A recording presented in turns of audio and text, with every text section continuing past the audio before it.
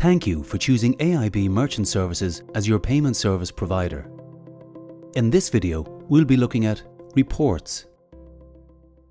To run a report on your Clover station, you must be logged in as an administrator or someone with similar privileges to run reports. Enter your admin PIN and select the Reports app. By default, the app will be showing the Transactions report. This will show you information on gross and net takings for the day, refunds, payouts, tender stats, total VAT figures, and sales by staff members. The Items report will give you visibility of the items sold by category. A Discounts report will show how much of each discount has been used. Finally, the Tax report will show the gross and net VAT figure for all of your VAT rates.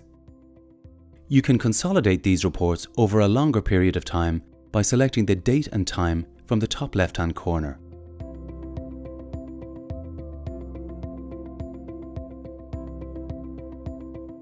Reports can be printed on the device and can also be saved and viewed on the device through the dashboard.